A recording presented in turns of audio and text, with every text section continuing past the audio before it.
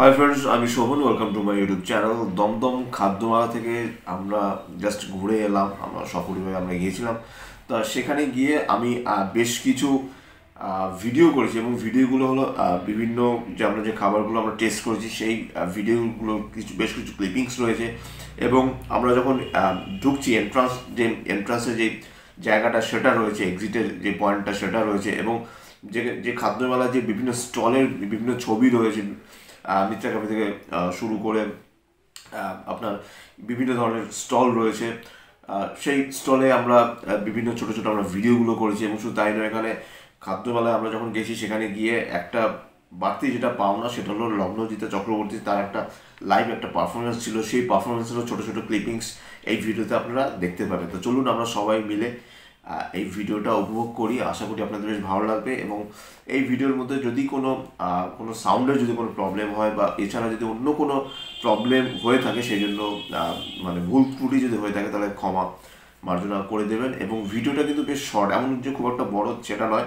কিন্তু আমি চেষ্টা করেছি যে অ্যাজ এ আমি তো ফুড ব্লগার না, আপনারা বেশ ভালো মতো জানেন যে অ্যাজ এ মুভি রিভিউয়ার বা ওয়েব সিরিজ রিভিউর হিসেবে আমরা, আমার চ্যানেলটা মোটামুটি চলে। কাজেই একটু জাস্ট অন্য রকমের একটা ফ্লেভার যদি এই আমার এই চ্যানেলের মধ্যে আসে, তাহলে সেটা খারাপ কি? সেটা নিয়ে আপনারা আমাকে কনভার্সে লিখে জানাতে পারেন। এবং এই ভিডিওটা আমি বলছি যে জাস্ট অ্যাজ এ যারা ফুড লাভার বা যারা বিশেষ করে যারা ফুডি তাদের হয়তো বা একটু হলেও ভালো লাগবে। তো তাদেরকে আহ, মানে ডেডিকেটেড করে কিন্তু এই ভিডিওটা জাস্ট বানানো। এবং চলুন আমরা সবাই মিলে ভিডিওটা জাস্ট প্রথম থেকে শেষ অবধি দেখি। স্কিপ করবেন না তাহলে যদি স্কিপ করেন তাহলে কিন্তু যে ভিডিওর যে মজাটা সেটা কিন্তু আপনারা হারিয়ে ফেলবেন। তো চলুন ভিডিওটা আমরা সবাই মিলে দেখি। সো স্টার্ট দমদম খাদ্য মেলায় এই অনুষ্ঠানটা হচ্ছে দমদম খাদ্য মেলায় এটা কিন্তু এই জায়গাটার নাম হলো ইন্দিরা ময়দান।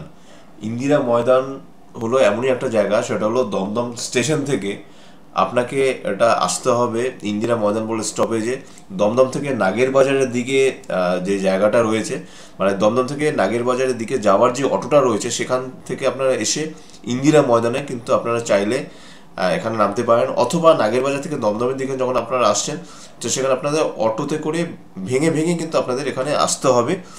চাইলে আপনারা চিড়িয়ার মোড় থেকেও আসতে পারেন, আপনারা চাইলে হাওড়া থেকেও আসতে পারেন।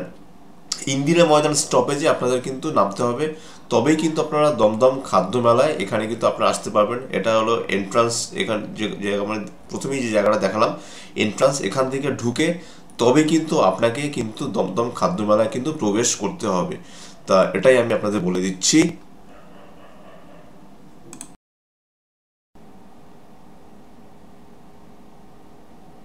এই আইটেমটার নাম হলো হট চিকেন টিক্কা কাবাব। এটার দাম নিয়েছে ষাট টাকা।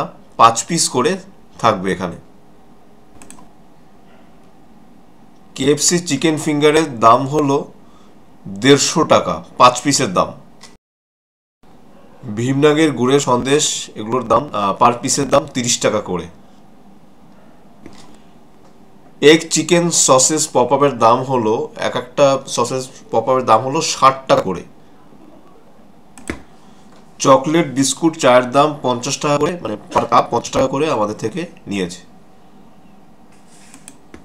এই জায়গাটা হলো মিত্রা কাফে মিত্রা কাফের সামনেটা চিকেন টিক্কা কাবাব এখানে রয়েছে।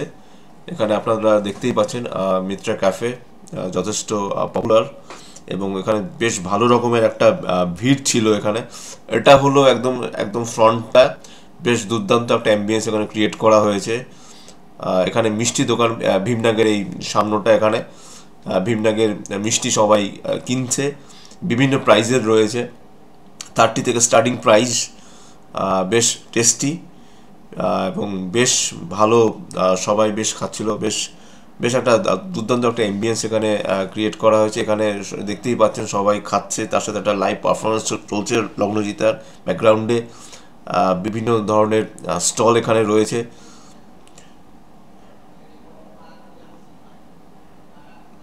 এরপরে আহ, ডিমওয়ালা ডিমওয়ালা আছে ভিমনাক্স রয়েছে কামলস আইসক্রিম রয়েছে।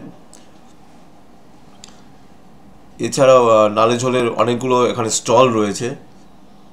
যে স্টলগুলো আপনারা মোটামুটি যখ- যখন যাবেন তখন আপনারা স্টলগুলো সম্পর্কে অনেক আপনাদের মধ্যে একটা ধ্যান ধারণা তৈরি হয়ে যাবে এবং এবার এবার বেশ বড় ইন্দিরা বাজার যেখানে এবার খাদ্য মেলাটা করা হয়েছে এটা বেশ বড় একটা জায়গায়।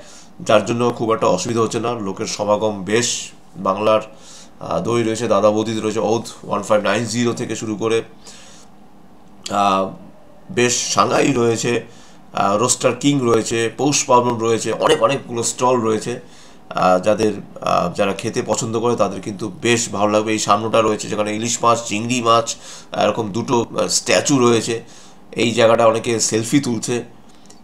লাইভ পারফরমেন্স রবীন্দ্র চক্রবর্তীর